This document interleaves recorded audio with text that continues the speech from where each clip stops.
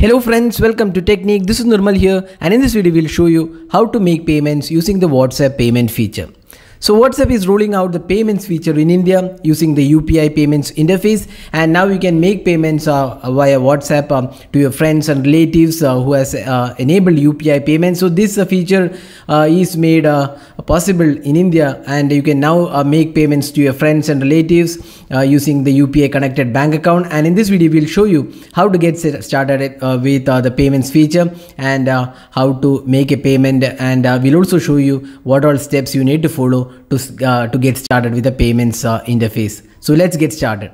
So first step you need to open WhatsApp and now let's go to the settings so click uh, settings and here you can see the new option called payments. So this will be enabled once you have the latest uh, feature enabled for your account. So right now it's in beta version. So uh, once you enable you will see this payments option. So click this and it will ask you to verify your number because uh, mobile number is the uh, uh, I mean option to enable UPI payment. So once you have selected your mobile number you can add your bank account. So all the bank accounts which have the UPI based payment system is available. So let's just select our bank you can select uh, your bank and it will populate uh, your account which is connected to your mobile number. So if you have enabled UPI and your mobile number is connected to your bank account that bank account will show here once you enter the mobile number. So this is uh, uh based on the UPI interface. We have seen Tez and uh, Google I mean Google Tez and BHIM app which uses the same method the UPI payments interface. Now select this account now we have selected the account and the bank account has been added to the payments interface. You can also see there is no payment history and you can also additionally add multiple accounts. So now uh, we'll show you how to make a payment. So coming back to the chats option. So select the person whom you want to uh, make a payment. Uh, click the attach button and here you can see the payments option. So this is a new option uh, and just select this and now you can uh, see that uh, you can enter the amount you want to transfer. So for the time being let's select just 10 rupees and you can also select the bank account from which you want to make the payment to this person.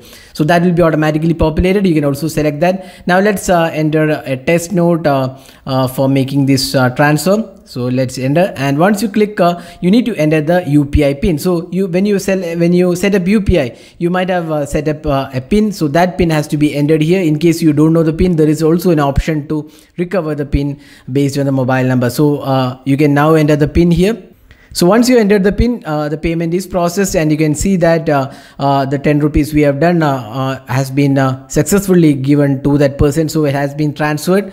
Now that is the WhatsApp payments feature and you can transfer funds to your family and friends using WhatsApp payments interface. This is based on the UPI payment that's a unified payments interface from um, government of India. So this was a, quick video on uh, how to make uh, payments and how to set up your bank account on WhatsApp. So this is currently available in the beta version. So this will be rolled out uh, in India to all the users. So once you get uh, hold of the payments uh, functionality, you can start using by making payments to any person. So the other person has to be enabled in UPI and um, has to add their account to WhatsApp. So only once they have added the account, they will be able to receive the funds. And once the funds has been transferred, it will will be accredited to uh, the person's account so that was uh, the detailed video on uh, how to make payments via uh, WhatsApp payments feature.